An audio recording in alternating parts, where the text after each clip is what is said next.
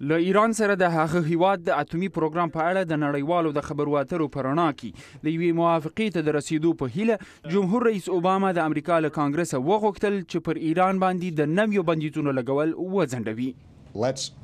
راځئ دا وازمایو چې ایراني چارواکي د ډیپلوماسۍ او سوله ییزې لارې د دې مسلې حل کولو ته څومره ژمن دي. د باندنیو چارو وزیر جان کیری هم تېره اونۍ پر سناتورانو غږ کړی و چې پر ایرانیانو باندې د بندیزونو ډېرول د موافقې پر هڅو منفي اغېزې لري.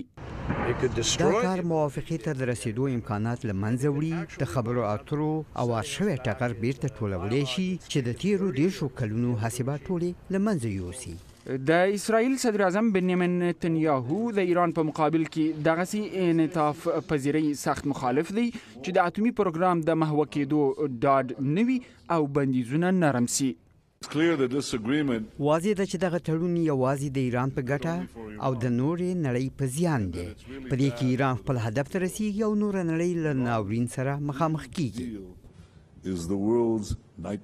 اسراییل له فرانسې او په خبرو کې د ښکېلو نورو پنځو اروپايي هیوادونو غوښتي چې بندیزونه نرم نه کړي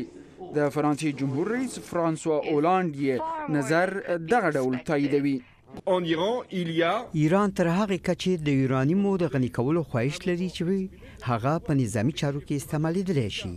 په همدې خاطر زموږ خبرې ادامه لري، پرته له شکه یو لړ پرمختګونه شوي دي، خو مطمئن نه وو او فرانسې وغوښتل چې یو لنډمهاله تړون وشي او دایمي تړون ته لاره هواره شي، شرایط مو ټاکلي دي، اقلاً د فرانسې موقف دغه دی. له ایران سره د اروپایانو خبرې یو ځل بیا پیلېدونکې دي او امریکا هڅه کوي چې تر موافقې وړاندې اسراییل اندېښنې له منځه یوسي.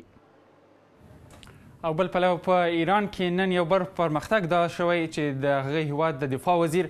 یو نوی ډرون یا بې پیلوټه الوتکه رسنیو ته وښوده چې د دوی په وینا تر ټولو لوی ډرون ده او دیش ساعته په هوا کې